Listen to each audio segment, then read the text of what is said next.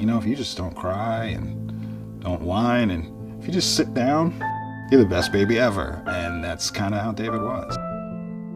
She was this cooing, wonderful, happy baby. And then around her first birthday, she just whoop, and it all went away. The date that we realized there was something going on was when he was in kindergarten and he just froze up one day in school. It was like a new kid just entered her classroom. Are we gonna get to play ball? Is he gonna understand music? Will he talk?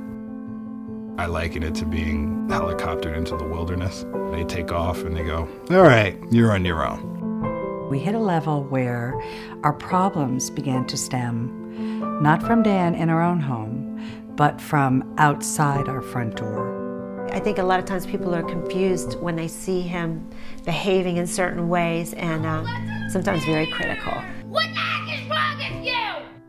There's no excuse for ignorance in my mind. I don't have time for that anymore. I mean, who really has time for people's bullshit, really? Well, I grew up with a pet dog, like most of us, but I really didn't come to appreciate dogs until my son Danny was diagnosed with autism.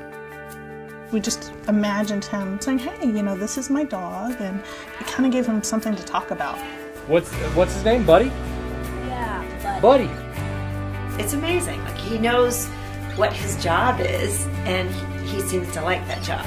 He knows when we're getting anxious, and at that time, he just comes over and starts giving us support and stuff, and I really like that. I think he's one of the best things that's ever happened to our family. He knows that he's got a special place in this family. He's one of us. We wouldn't be the Janus family without him. I think what has to happen is our society has to understand that this world is for all of us. And our dogs are really there to help your average person mitigate their fear of differences.